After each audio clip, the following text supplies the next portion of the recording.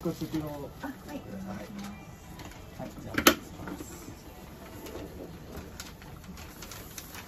感情はいいのかな。あ、しまうと、これ入れたくなっちゃう。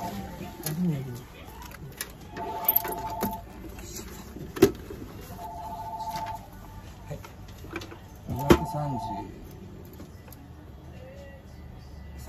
はい、じゃあちょっとこのケースを、若干減ってるえー、っとまずもうで測ってますと245、はい、43今でも33ですよね、自力で食べるのはえー、っとチムシーはチムシ大体大体これどうやって言うのこれ？まあはい。3と4を食べたから。7グラムとか15グラムとかそれぐらいね。はい。まあこれ測るの難しいんですね。ちょっと難しかったです。うん、ペレットは？ペレット5グラムで。5グラム。はい。1日5グラム。一日5グラム。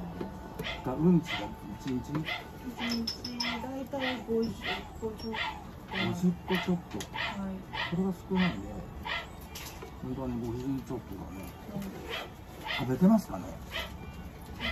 お大きさは結構いい。お結構立派なのが出てる、はい、なんですけども、今もこんな感じで。でおしっこはまあ普通にジャーっとして元気はあるからはい。これなんですけど、これおしっこ。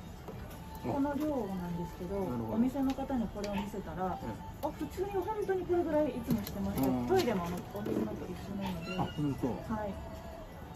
ただ家だとこれよりももうちょっと少ない感じで、ちょっと聞きたいこととかもちょっと書いてきたのでお願いします。そうだね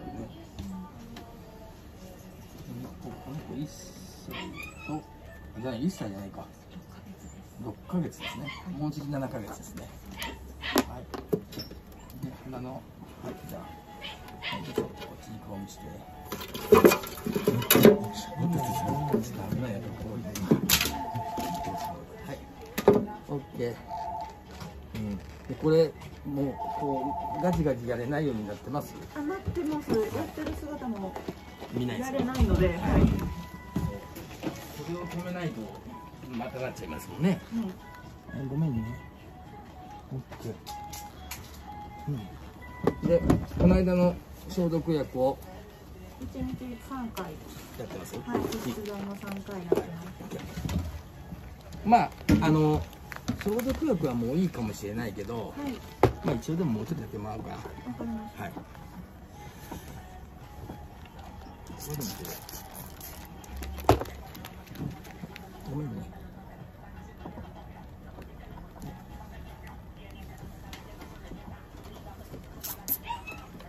これあのミックスしてるやつね。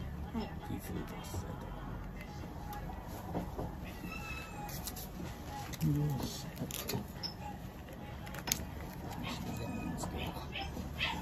よし。うんおしっこした。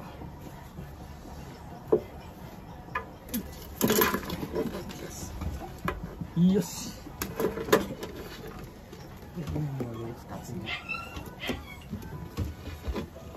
うん、そんで細いっすよこの子やっぱり。そうですね。うんお店の方もこの子は小柄ですっていうふうにはされてだからあのどうしろこうしろっていうのはないかまずはさ、あのこの一般状態の健康チェック表をつけてってくださいそれで、まあ、今お家でも測ってくださいね、はいここで測ったら233で違うかもしれないからはい。でこのチモシーとペレットの食べをしっかりペレットはもう 5g しきっちり食べてるわけですよね。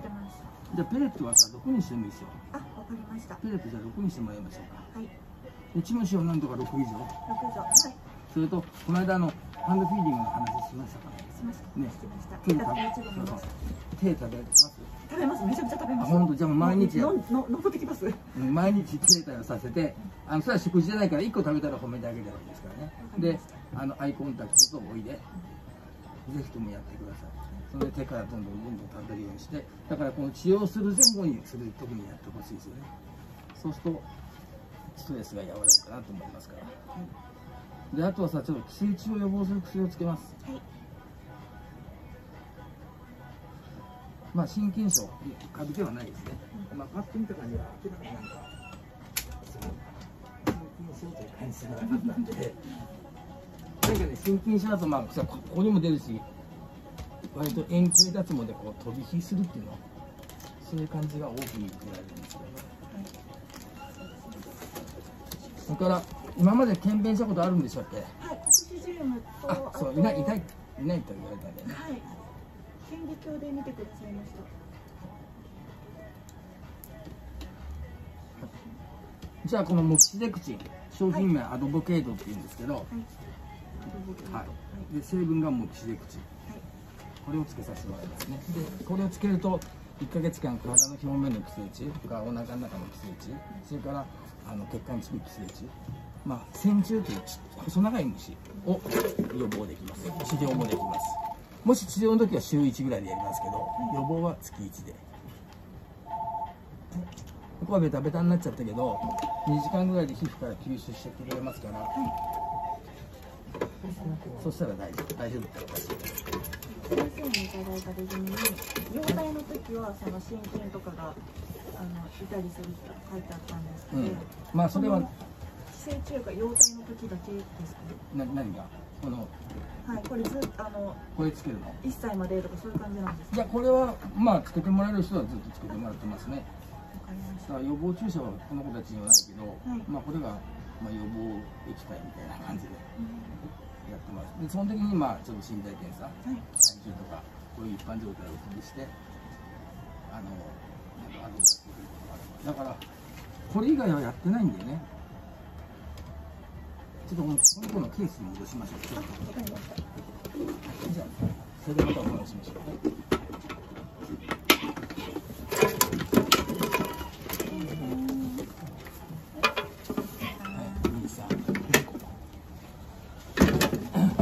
ここではちょっとちっちゃめが5個出ましたね。興奮してたか